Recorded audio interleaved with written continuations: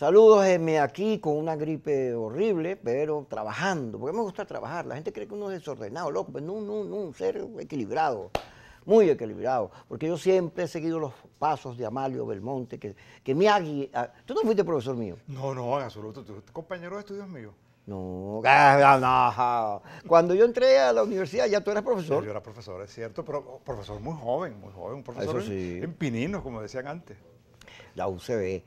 Tú sabes que mm, yo llegué a pensar cuando salió esta, este dictamen que cambió las reglas electorales de las universidades, yo decía, ¿quién recomendaría al gobierno que se ponga a pelear con las universidades en este momento de crisis tan feo? Sobre todo porque si alguien tiene noción de pelea son las universidades, que toda la vida han peleado. Claro, entonces ¿cómo vas a provocar un, en medio de problema tan fuerte como el que tiene con, la salud, con la inseguridad, el problema económico que es grave, el problema social. Entonces incorporas un nuevo factor. ¿A quién se le habrá ocurrido? No sabemos todavía a quién se le ocurrió esa idea de ordenar. Un hombre brillante, seguramente. sí.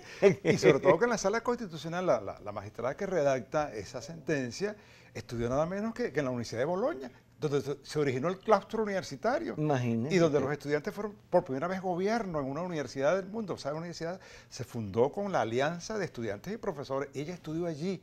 Y hay fotos de ella donde está el claustro, el primer claustro que existió en el mundo occidental. Entonces uno no entiende cómo alguien con esa formación, y además hizo una pasantía durante, por la Universidad de Nanterre en Francia, donde ocurrió el mayo francés, imagina uno que ella tiene una foto que dice prohibido prohibir. Ahora una persona que piensa así hace, que piensa, hace esto, es lo que... Pero hay un problema de concepciones. Fíjate que la mayoría de los gremios, sindicatos, todo, todo, porque ahora yo no sé, otro genio inventó tirar todas las elecciones para el CNE para bien o para mal, que las revisara, las mirara. Total es que los médicos tienen como 20 años que no hacen elecciones. Los periodistas tienen como 2, 3 años. Casi todo está parado.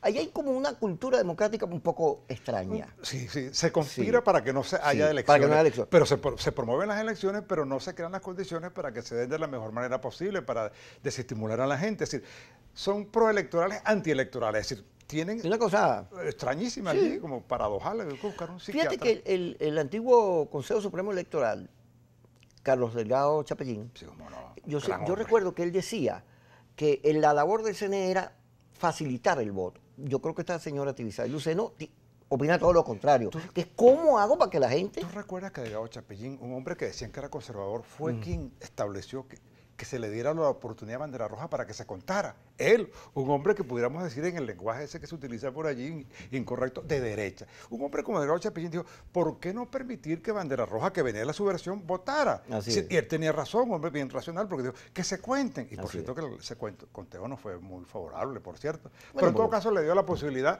a un sector para que emergiera y para que se pacificara totalmente. Y eso es lo correcto. Tú tienes que permitir que todo el mundo se exprese y participe por la vía electoral fíjate, ya que hablas de bandera roja y estás exponiendo este cuento, permítame pedirte tu opinión para compartirla con la gente que nos ve. Fíjate, Betancourt se quitó al Partido Comunista y al MIR de encima porque los mandó para la guerrilla. En un país urbano, tú mandas a la gente para la guerrilla y a comer culebra. Claro. Y, a, hacer minoría, porque ahí no está la mayoría. ¿Tú recuerdas aquella frase que decía que una guerrilla, una guerrilla sin campesinos es como un arroz con pollo sin pollo. Si coloquialmente Betancourt determinó lo que es una reflexión sociológica, es decir, ¿cómo va a haber guerrillas en Venezuela rurales cuando aquí todo es urbano?